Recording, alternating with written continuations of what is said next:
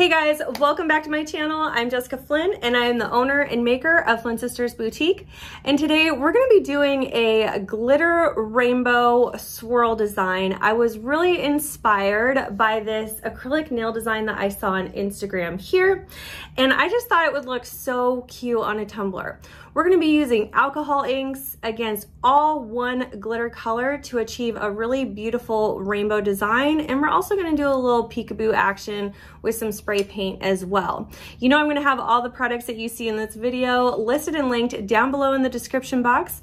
You might even find some discount codes for you there as well. So that's enough chit chat for me. Let's go ahead and get started.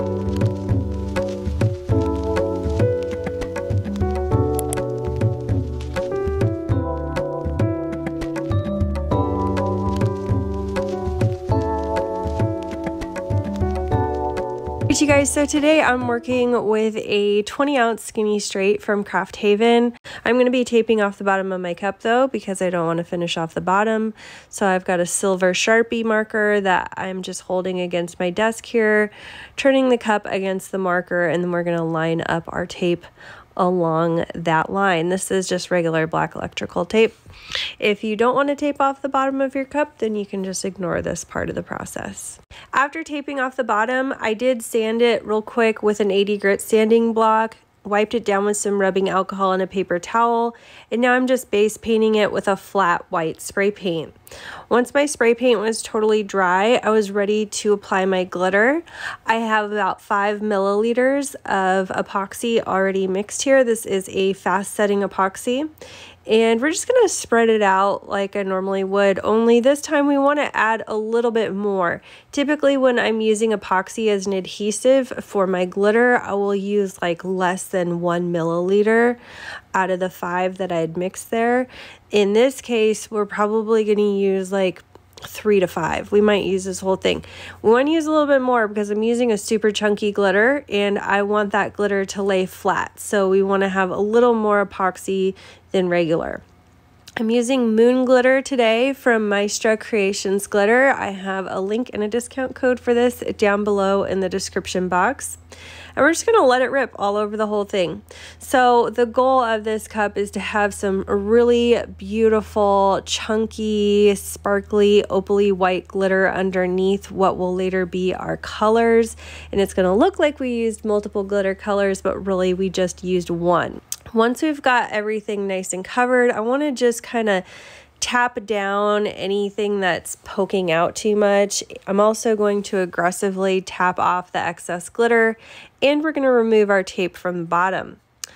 Once this dries in about two hours or so, remember I did use a fast setting epoxy. Your dry time may vary based on the brand and type of epoxy you used, okay? I'm gonna replace that tape and today I wanna use some Quick Coat. This is a water-based urethane sealer from counterculturediy.com. This is not epoxy and it's not an epoxy alternative. This is just a sealer. It does have some enhanced UV protection in it and stuff. No, I do not know how well it compares to polyacrylic because I've never compared the two, but what I do know is I've been using this stuff for years and it's never let me down. I like to apply it with a gloved hand, and the reason we're going over our chunky glitter with this sealer is it's going to help our subsequent layers of epoxy go on a little more smoothly. This is kind of like getting a uh, thin base coat of epoxy without the dry time. I apply this on the turner and let it turn for about 45 minutes to an hour until it's completely dry to the touch. Then I applied two coats I think actually three coats of epoxy over that until smooth, okay? So basically we're just applying our glitter, epoxying till smooth, and now I'm at the point where I'm ready for sanding regular sanding routine along the rim there. Um, really want to sand down pretty far because we will be doing some painting and inks over that. Once we've got everything sanded and the epoxy over our glitter is nice and smooth, and I mean really smooth, okay? We don't want to have any bumps or ridges or anything like that, okay? If you have to go to four coats of epoxy to get there, then do that, um, but we want to make sure everything's nice and smooth. Now I'm moving on to my inks. So we're just going to apply our inks in a rainbow pattern. I have a piece of sponge or magic eraser for each color. Uh, the reason I have sponge and magic erasers because I ran out of magic erasers. Otherwise, I would just use all that. But anyway, I'm using purple, pink, yellow, teal blue, dark blue, and I'm going to go a little bit down further on some colors than the others where I know the two colors meeting together will create a third color. For example, with the pink and the yellow, I want to go down a little further with the pink and go down a little further with the yellow because the pink and yellow, when they mix together, will create the orange for us. And I'm going to go down a little further with that yellow because the yellow and teal will create the green for us, okay? Notice that I'm not really putting forth a huge amount of effort to blend here. I'm just kind of putting the colors on willy nilly. What we do want to see is a nice clear separation of each color. I want like, I don't want so much of a gradient. I just really am looking for like a rainbow here. I don't know. But what I love about this technique is it kind of looks like we have a bunch of different glitter colors on here with just one. You'll also notice I'm not using a lot of rubbing alcohol for blending. I did that on purpose because I don't want like a splotchy look. I mean, ideally, if I knew how to use like an airbrush with these alcohol inks, I probably would have done that just to get a really nice clean blend between all the colors. Um, but we're going to be covering up a good amount of this with some paint later on. So I'm not really too concerned. I just don't want things to look like blotchy. Once I got to the end here, I forgot that I probably should have replaced my tape because I don't want any alcohol ink going past what was our glitter line. Again, if you finish off your bottom for this, you can just ignore that part of the instruction. But it's pretty self-explanatory what we're doing here. We're just creating a rainbow with alcohol inks and trying to blend the colors in between. If somewhere got a little too like blotchy or buildup, I just went over it with a small bit of rubbing alcohol to kind of blend that out. Once I was done applying the inks, I did let that dry overnight. I did not seal my inks. And now I'm just going over this with a very light coat of epoxy. If you are not finishing your bottom like I am, uh, just make sure after you apply this coat of epoxy that you go over the bottom to wipe off any excess epoxy from where it should not be. Or you could just replace the tape before you epoxy and then remove it as soon as you're done applying your epoxy. After that dried, I'm ready to start sanding down my rim once again. Remember earlier I told you guys you're going to have to sand more than once uh, with this type of design because we're doing glitter and some paint and inks and we want to make sure that that top rim is nice and clean so our final coats of epoxy have something to adhere to to create the final seal for our cup on the outer rim rather than the very top rim where it's more vulnerable. After sanding, I'm just going to wipe this down with some rubbing alcohol and a paper towel. And if you found that you sanded down too far and exposed some of the white glitter underneath, just color that in with a Sharpie.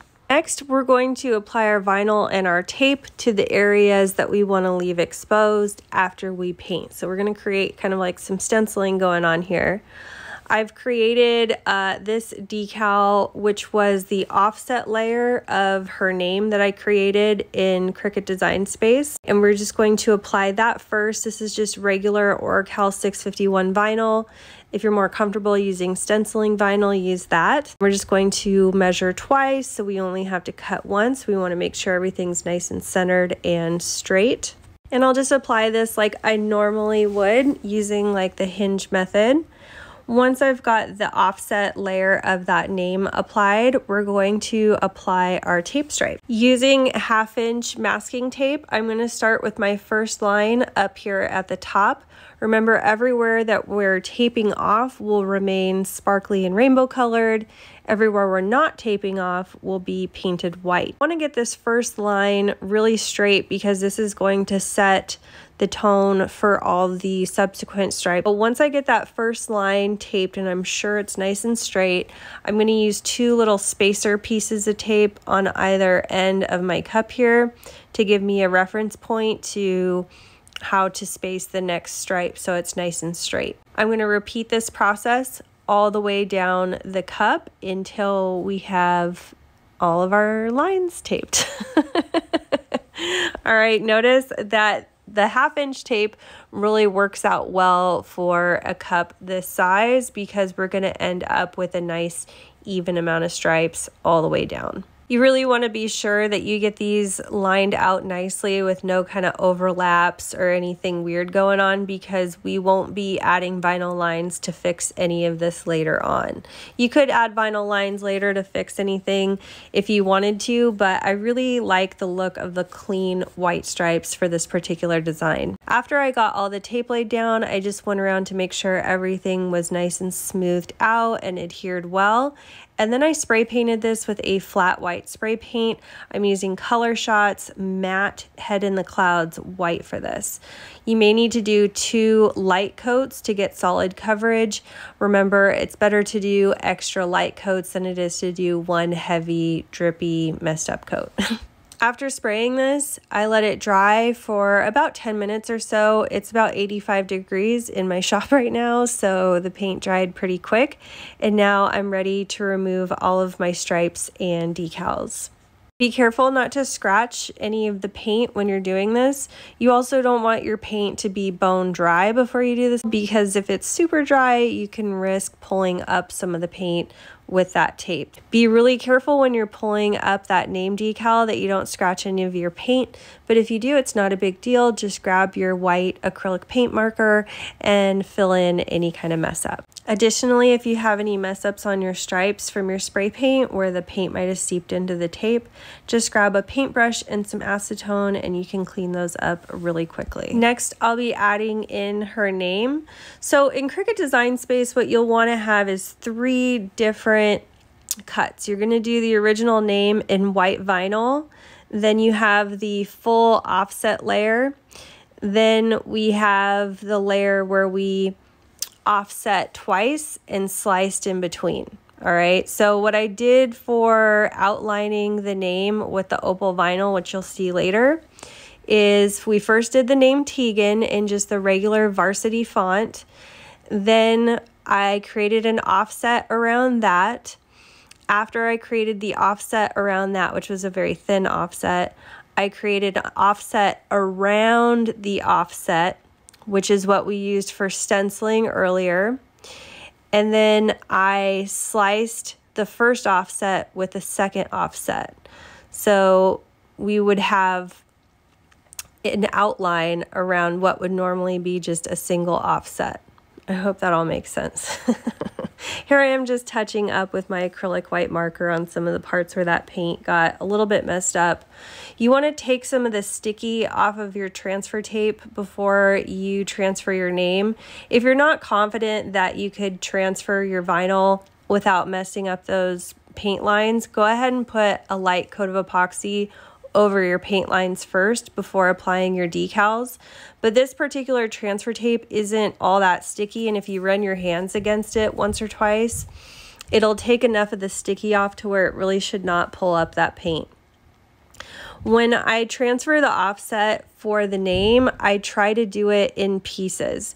So the way this offset ended up being is it cut in three separate pieces. Okay. In other words, only three parts of it were totally connected. So I could transfer it onto the cup bit by bit, which was a lot easier than trying to line up the whole thing. I hope that makes sense. So here I am just putting on the A and the N at one time. Once I get this transferred, I'll move on to just the G because that cut in one separate piece. And then the TEA all cut in one piece and I transferred that at once as well. So it just makes it easier for me than trying to line this whole thing up at once. Once I finished up with all that vinyl and paint work, I was finally ready to move on to my final coats of epoxy. This one took two final coats before it was totally done and that was it. So that's it for this tutorial. I absolutely love how this turned out. And while I don't think it's just like the inspiration that I saw with the acrylic nails, I really love it. I the mix of kind of like that tie-dye rainbow with the clean preppy look of the stripes and the varsity font. Let me know what you guys thought in the comments. And if you like this video, please be sure to give us a big thumbs up. And if you haven't already, please subscribe to my channel. I upload new videos every Saturday. Thank you so much for watching. We'll see you again soon.